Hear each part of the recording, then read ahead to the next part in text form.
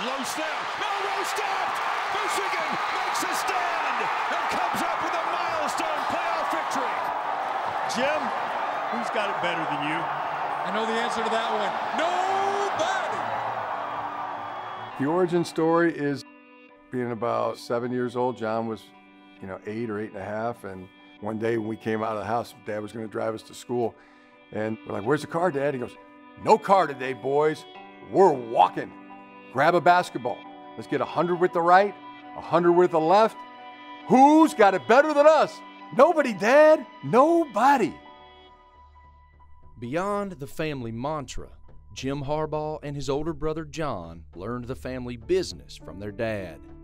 Jack Harbaugh coached football at the college level for 41 years, 19 as a head coach.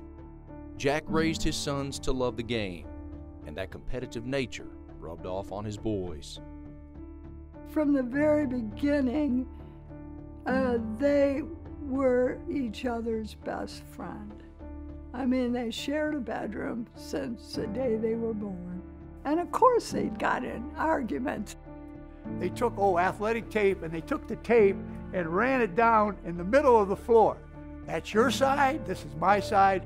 We don't go to either one side. Arguing, fighting, at the same time, playing together, being on the same team. If we've accomplished anything, man, I'd like to think we pushed each other to where we're at, you know, or whatever we became.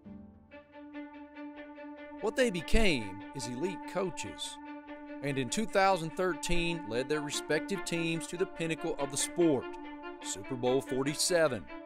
Jim's San Francisco 49ers against John's Baltimore Ravens. Probably the same odds of lightning striking. It's never happened before. That was that was the first time. Really happy it happened to our family. Proud of my brother. He's my best friend.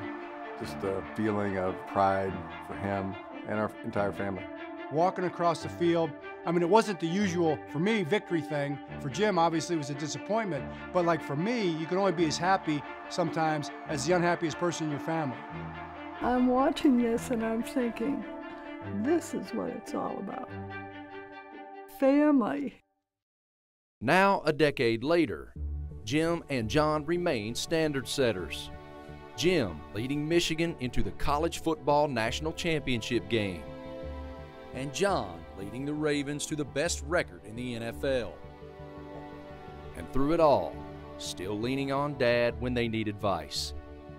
And the beautiful thing about it is, if they ever call me, I'm ready because I have studied the tape. He watches our practice tape, watches the Ravens practice tape, you know, our games, the Ravens games. Hey, Dad, this happened. What do you think? You know, how should we handle this? Uh, he's always about it. Here's a thought. Here's something we did back in 1993, and you're like, bam, that just saved me three hours and a migraine headache. I probably would have got to that that point, but you just you just gave it to me in 30 seconds. And after all these years, all the advice and the coaching, now more than ever for the Harbaugh brothers, the answer to the question remains the same. Who's got it better than us? No!